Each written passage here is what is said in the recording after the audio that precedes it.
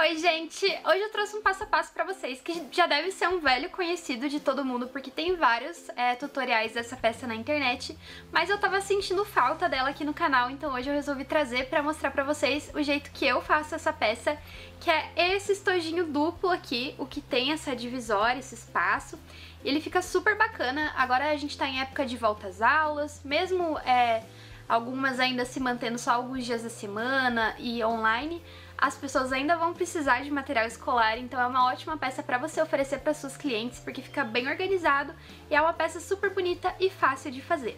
Os materiais que eu utilizei vocês vão encontrar lá na loja Mil Tons, além de tecidos eles têm vários materiais super legais para artesanato e você pode usar o cupom ARTEDB nas suas compras para ganhar um desconto. Vamos ao passo a passo?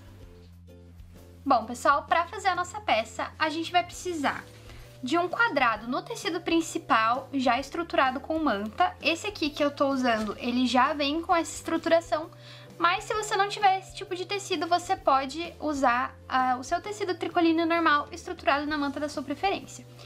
Ele tem a medida de 29 por 29 e mais uma tira aqui desse mesmo tecido com a estruturação, medindo 29 por 4 centímetros. Essa parte vai ser a que vai ficar entre os zíperes.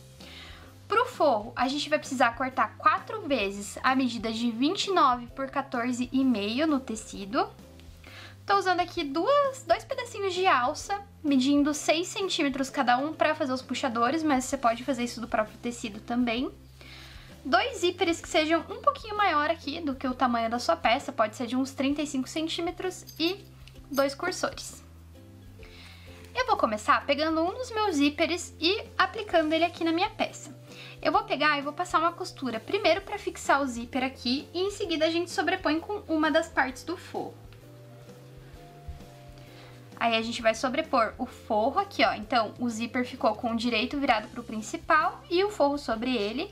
A gente passa essa costura, vira pro lado direito, rebate a costura do forro e depois do outro lado do zíper, quando a gente virar ele aqui pro lado certo, Gente, o que a gente vai costurar na outra ponta do zíper, isso aqui vai ficar tudo pra dentro, e na outra ponta aqui do zíper, a gente vai costurar essa tirinha de tecido junto com mais um dos pedaços de forro. Conforme eu for costurando na máquina, vocês vão entender melhor.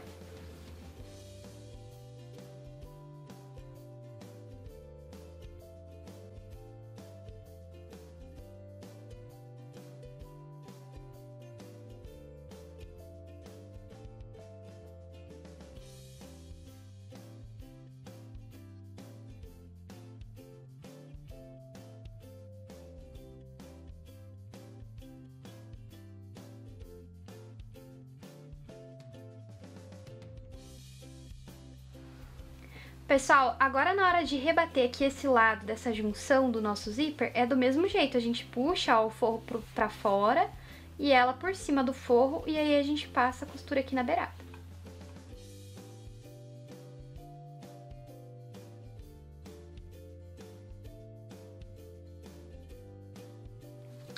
Com o primeiro zíper costurado, essa é a aparência da nossa peça. Então o zíper fica aqui pela parte da frente e aqui atrás a gente tem esses dois pedacinhos de forro mais curtos do que o corpo da peça. Né? E aqui ele é mais comprido. Agora, a gente já vai jogar esse forro todo pra, pro lado de baixo aqui. E a gente vai costurar o nosso segundo zíper aqui nessa pontinha. E é do mesmo jeito, a gente vai posicionar ele, costura, depois sobrepõe o forro, vira e rebate esse primeiro lado. E depois de costurado, fica assim a nossa peça com os dois zíperes. E aqui a parte de trás, a gente tem os nossos três forros. E agora falta costurar a última parte do zíper, né? Então, a gente vai jogar esse zíper aqui no outro lado da nossa peça. Que aí a gente vai formar os dois bolsos. E aqui também, vou passar a costura para fixar o zíper, depois a gente sobrepõe esse último forro aqui passa outra costura. E aí, pra rebater, a gente vai abrir aqui o nosso zíper, ó, abre ele, aí a gente rebate a costura. Prontinho, como eu falei, olha, meu zíper tá aberto aqui pra poder rebater essa última parte do forro. A parte das costas aqui da nossa peça vai ficar assim. E agora a gente vai passar os cursores nos zíperes. Então aqui eu vou alinhar novamente esse pedaço do meu zíper que tá aberto vou passar o meu cursor por aqui e tirar ele, aí depois eu venho, passo novamente e deixo ele mais ou menos aqui no centro da minha peça. E no zíper que já tá fechado, é só colocar ele e deixar ele aqui no meio.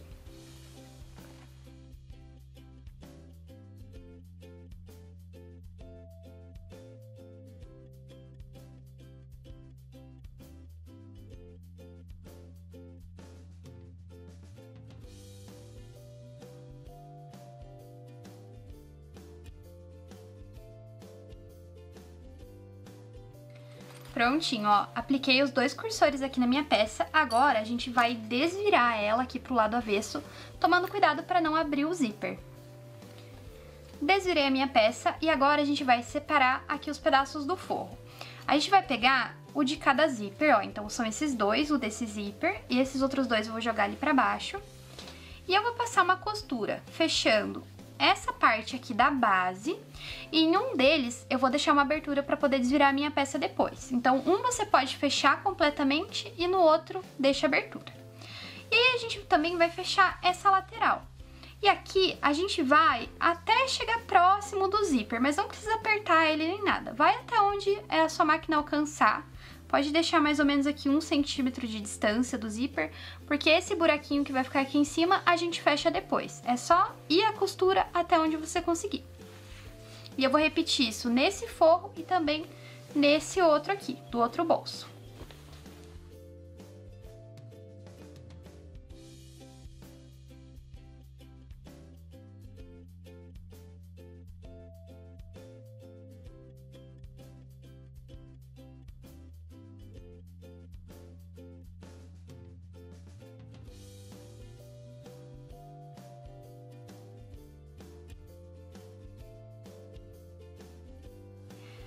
Prontinho, meu forro tá costurado, já fechado. E agora eu vou marcar uma caixinha de leite aqui nos cantos da minha peça.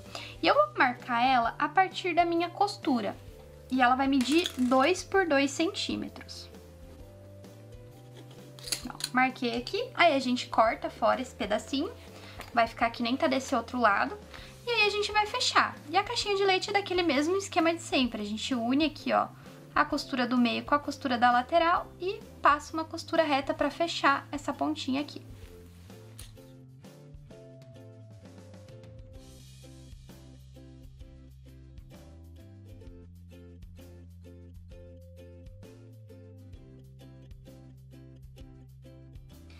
Pessoal, o forro depois de costurado vai ficar desse jeito, agora ele já tá pronto, e a gente vai fechar a parte externa da nossa peça. Para fazer isso, eu vou alinhar aqui os meus zíperes para marcar o centro da minha peça. Fiz um pique aqui embaixo e um pique em cima. E aí, eu vou unir esses dois piques. Ó, a gente alinha aqui e vou prender esse pedaço. Aqui do outro lado, a mesma coisa, a gente também vai alinhar pelo centro da nossa peça. Agora eu vou pegar aquelas minhas duas alcinhas, que vão ser os puxadores aqui do zíper, e vou encaixar aqui no centro também. Então você posiciona e coloca ali um grampinho para prender.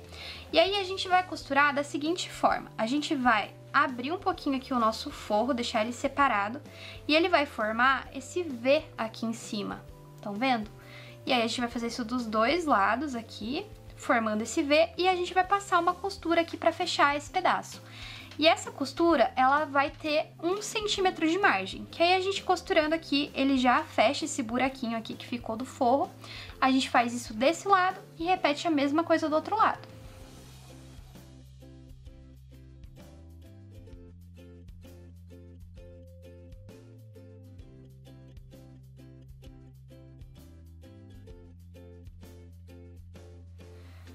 Pessoal, costurei aqui, também cortei os excessos de zíper que tinham sobrado. E agora a gente vai marcar as caixinhas de leite da parte exterior aqui da nossa peça. Então você isola o forro e marca em cada cantinho, também contando a partir da costura aqui, 3,5 cm por 3,5 cm. Aí a gente vai recortar e vai fechar essa parte. Aí depois que a gente fechar todas as caixinhas de leite, é só você desvirar sua peça aqui pela abertura do forro que a gente deixou.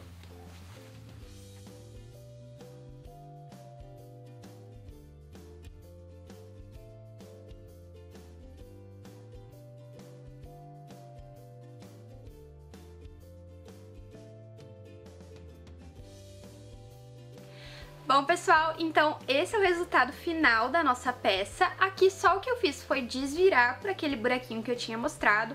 A gente ajeita bem direitinho aqui essas pontinhas e aí fecha essa abertura. Você pode fechar com um pontinho à mão ou passar na máquina de costura mesmo. Eu sempre fecho os meus forros com a costura na máquina que eu acho que fica mais reforçado, mas você pode fazer do jeito que você quiser. Eu espero que você tenha aproveitado esse passo a passo, que você faça muitas peças dessa para vender aí no seu ateliê e que seja um grande sucesso. Tchau e até a próxima!